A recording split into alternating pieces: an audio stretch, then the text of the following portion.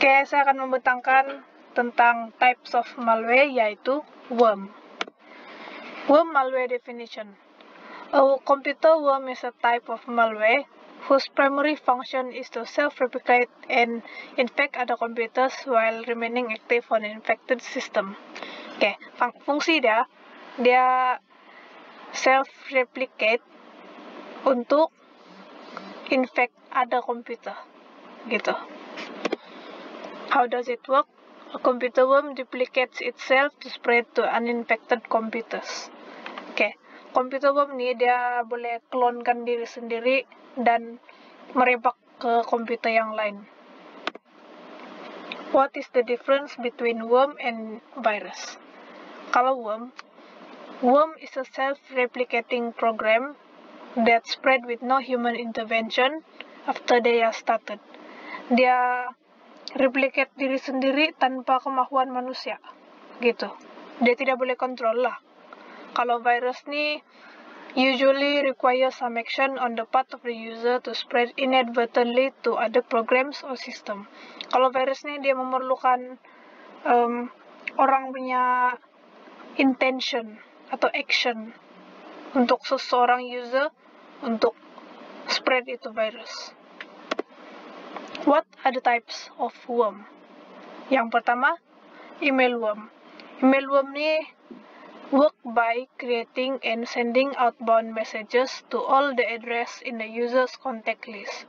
Dia selalunya kalau email worm ini dia bekerja di email lah.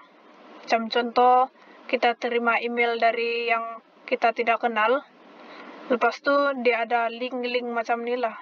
Kalau tekan ni link, uh, spread lah dia punya worm semua dalam dalam user punya device.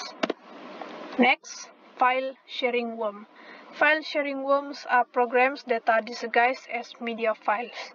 Oke, okay, kalau file sharing worm ni dia se, se sebuah worm yang dia menyamar sebagai file. Gitu. Kalau yang tadi nih, ini dia link file kan. Kalau yang ini dia file. Jadi dalam file tuh se sebuah file boleh di share kepada komputer lain tapi dia bawa itu worm gitu. Salah satu contoh program nih Stuxnet lah. Nih, dia worm yang bahaya, kira bahaya juga lah.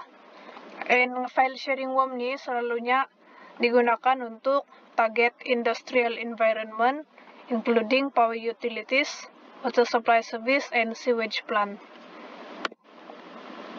Next, internet worm. Some computer worms specifically target popular website with poor security. Kayak kalau internet worm ini dia selalunya kalau contoh kita masuk dalam website-website kan, kalau macam contoh mau tinggal anime lah begitu kan, dia pandai keluar ads macam nih. Nih ads nih kalau tekan dia boleh spread itu worm yang dibawa oleh ni ads gitu. Okay, how do computer worms spread? Well, some computer worms require user action to initially propagate, such as clicking on a link, macam yang tadi itu. Others can easily spread without user interaction. Jadi worm ni dia spread tanpa orang punya kemampuan bah. Dia macam kalau saya mau, maulah gitu worm dia dia akan spread secara tidak terkawal gitu. Oke itu saja dari saya. Thank you